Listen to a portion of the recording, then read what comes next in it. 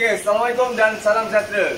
Kenapa kalau kita bawa kereta bunyi macam bunyi tayar, bearing tayar bunyi berdengung, wong wong wong wong. Dah check dah bearing tayar tak ada bunyi. Tapi apa sebabnya? Kat sini saya tunjukkan dah. Salah satu punca bunyi berdengung. Dah tukar bearing tayar, dah check bearing tayar tak ada masalah apa. Rupanya dalam gearbox ni ada masalah pada bunyi humming atau bunyi berdengung.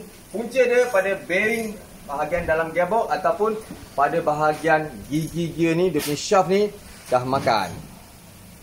Kalau anda tengok sini, kat sinilah punca bunyi berdengung atau bunyi humming ni. Okey. Sini ke bahagian kedudukan bearing dia.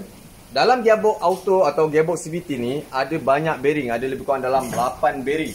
Dan ada bearing yang tak dapat bertahan pada vibration. Kat sinilah kalau kita tengok bearing ni agak halus dan dia agak sensitif pada vibration. Bila vibration atau gegaran berlaku berpanjangan, dia akan menyebabkan bearing ni akan jadi bergegar dan dia akan makan pada bahagian shaft ni. Jadi kepada anda di luar sana, pastikan kenderaan anda diperiksa. Terutamanya yang model-model sekarang ni banyak masalah pada transmisi. Model-model CVT paling banyak masalah dia.